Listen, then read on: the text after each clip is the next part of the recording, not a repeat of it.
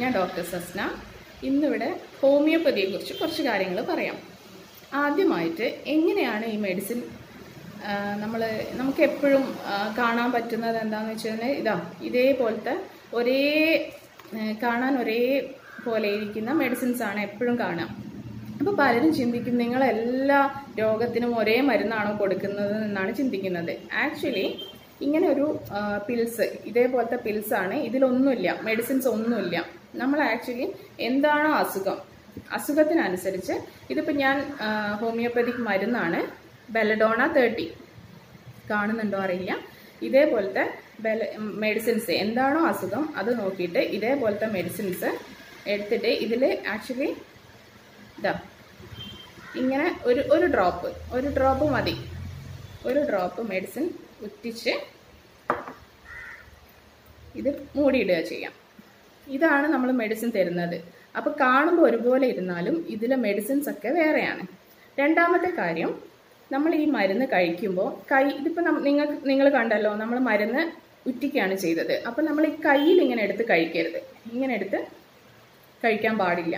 കാരണം കയ്യിൽ ഇങ്ങനെ എടുത്ത് കഴിക്കുമ്പോൾ നമ്മുടെ കയ്യിൽ ഈ മെഡിസിൻസ് മൊത്തം ആവാൻ ചാൻസ് ഉണ്ട്. അതുകൊണ്ട് തന്നെ ഇത് തെറ്റായിട്ടുള്ള ഒരു പ്രവണതയാണ്.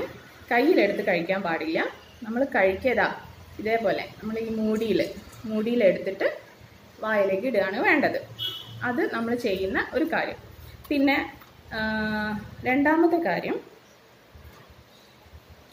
പലർക്കും ഉള്ള പ്രശ്നമാണ്. ഹോമിയോപ്പതി മരുന്നിൽ മോളിക്യൂൾസ് ഇല്ല ആറ്റംസ് ഇല്ല. ഇതൊക്കെ പറയുമ്പോൾ ഭയങ്കര വിമർശനങ്ങൾ വരും എന്നറിയാം എന്തായാലും നമ്മൾ ആക്സെപ്റ്റ് ചെയ്യുന്നു വിമർശനങ്ങളെ. ഇതിപ്പോൾ ഒരു ബെർബറിസ് വൾഗാരിസ് എന്ന് പറയുന്ന ഒരു ടിങ്ചറാണ് ഹോമിയോപ്പതിയിലെ ഇത് മോളിക്യൂൾസ് ഇല്ല ആറ്റംസ് ഇല്ല എന്നൊക്കെ പറയുന്നവർക്കാണ് ഇതിന്റെ കയ്യിലാക്കിയാൽ നിങ്ങൾക്ക് തന്നെ കാണാൻ പറ്റും കണ്ടോ? കളർ കളർ ചേഞ്ച് ഉണ്ട്. ഇതിൽ മോളിക്യൂൾസും ആറ്റംസും ഒക്കെ ഉണ്ട്. ഇനി ചില വ്യക്തികളുണ്ട് ഞങ്ങൾക്ക് ആറ്റംസും മോളിക്യൂൾസും ഒക്കെ ഇല്ലാത്തത് കൊണ്ടാണ് ഹോമിയോപ്പതി മരുന്ന് കഴിക്കാത്തത് എന്ന് ചിന്തിക്കുന്ന ആളുകളുണ്ടെങ്കിൽ നമുക്ക് ഇതേപോലത്തെ മദർ ടീഞ്ചേഴ്സ് തരാൻ പറ്റ പറ്റുന്നതാണ്. അപ്പോൾ ഇതുപോലത്തെ മദർ ടീഞ്ചേഴ്സും ഇതുപോലത്തെ ഡൈല്യൂഷൻസ് ഒക്കെ ഹോമിയോപ്പതിയിൽ കൊടുക്കുന്നുണ്ട്. രണ്ടാമത്തെ കാര്യം ഹോമിയോപ്പതി മരുന്ന് വളരെ പതുക്കെ മാറുള്ളൂ എന്നൊരു തെറ്റായ ധാരണയുണ്ട്. അത് ശരിക്കും തെറ്റായിട്ടുള്ളൊരു ധാരണ തന്നെയാണ്. കാരണം എന്താ വെച്ചാൽ ശരിക്കും പക്ക പെർഫെക്റ്റ് മരുന്നാണെങ്കിൽ ഹോമിയോപ്പതി മരുന്ന് കൊണ്ട് വളരെ ഫാസ്റ്റായിട്ട് തന്നെ അസുഖങ്ങൾ മാറുന്നതാണ്. മൂന്നാമത്തെ കാര്യം ഇത് കുഞ്ഞു കുട്ടികൾക്കും മുതിർന്നവർക്കും മാത്രമേ ഉപയോഗിക്കാൻ പാടുള്ളൂ എന്നൊരു തെറ്റായ ധാരണയുണ്ട്. അതും വളരെ ഒരു മോശമായിട്ടുള്ള ധാരണയാണ്. എല്ലാ പ്രായത്തിലുള്ളവർക്കും ഹോമിയോപ്പതി മരുന്നുകൾ വളരെ അധി- അധികം ഫലപ്രദമായിട്ട് ഉപയോഗിക്കാവുന്നതാണ്. പിന്നെ ഈ ഹോമിയോപ്പതി മരുന്നുകൾ ഈ കുഞ്ഞുങ്ങൾക്ക് കൂടുതലായിട്ട് എഫക്റ്റ് ചെയ്യുന്നത് എന്തുകൊണ്ടാണെന്ന് വെച്ചാൽ അവർ വളരെ പ്യുവർ ആയിരിക്കും. കാരണം നമ്മൾ കഴിക്കുന്ന പോലത്തെ ഇപ്പം വലിയ ആളുകളാണെങ്കിൽ ആൽക്കഹോൾ അങ്ങനത്തെയൊക്കെ മദ്യപിക്കുന്ന ആളുകളായിരിക്കും അല്ലെങ്കിൽ കൂടുതലായിട്ട് സ്പൈസി ഫുഡുകളൊക്കെ കഴിക്കുന്ന ആളുകളായിരിക്കും അല്ലെങ്കിൽ കാപ്പിയും ചായയൊക്കെ ഒരുപാട് കഴിക്കുന്ന ആളുകളായിരിക്കും. അങ്ങനെയൊന്നും ഇല്ലാത്ത ഒരു വിഭാഗമാണ് ഈ കുഞ്ഞുങ്ങൾ അപ്പോൾ അവർക്ക് കൂടുതലായിട്ട് നമ്മുടെ മരുന്ന് എഫക്റ്റ് ചെയ്യാനുള്ള ഒരു ചാൻസ് ഉണ്ട്. അത്രയേ ഉള്ളൂ. പിന്നെ വേറൊരു കാര്യം എന്താണെന്ന് വെച്ച് കഴിഞ്ഞാൽ ഈ ഹോമിയോപ്പതി മരുന്നുകൾക്ക് ഈ ഭക്ഷണം ഭക്ഷണം ഭക്ഷണവുമായിട്ട് എന്തെങ്കിലും ബന്ധമുണ്ടോ? ഭക്ഷണത്തിന് മുമ്പ്? ശരിക്കും ഭക്ഷണവുമായിട്ട് ഓരോ ഡോക്ടേഴ്സ് നിർദ്ദേശിക്കുന്നതിനനുസരിച്ചാണ് നിങ്ങൾ കഴിക്കേണ്ടത്.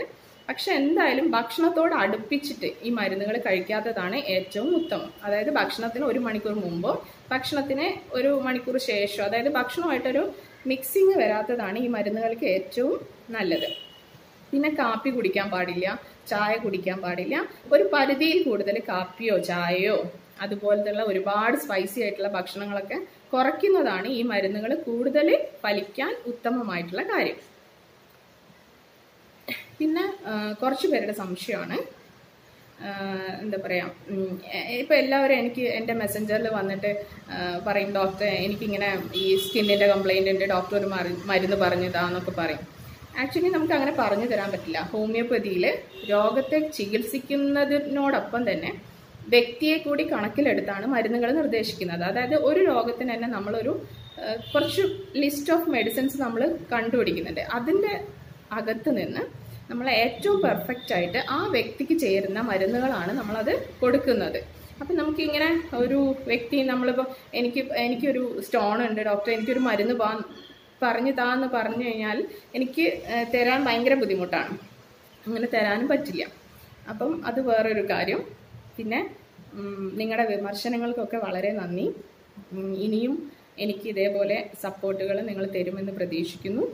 പിന്നെ ഇത് ഇതോടനുബന്ധിച്ച് തന്നെ മറ്റെന്തെങ്കിലും ഡൗട്ട് ഹോമിയോപ്പതിക് മെഡിസിൻ കഴിക്കുന്നതോടോ ഉണ്ടെങ്കിൽ നിങ്ങൾക്കിതിൽ അടിയിൽ കമന്റായിട്ട് ഇടാം. പിന്നെ മറ്റൊരു കാര്യം എന്താണെന്ന് വെച്ച് കഴിഞ്ഞാൽ ഹോമിയോപ്പതിക് മരുന്ന് കഴിക്കുമ്പോൾ അത് വളരെ പക്വതയോടുകൂടി അതായത് കൃത്യമായിട്ട് കഴിക്കാൻ ശ്രമിക്കുക കൃത്യത വളരെ ഇമ്പോർട്ടന്റ് ആണ്.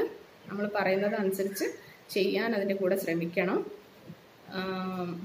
അപ്പോൾ ഓക്കെ താങ്ക്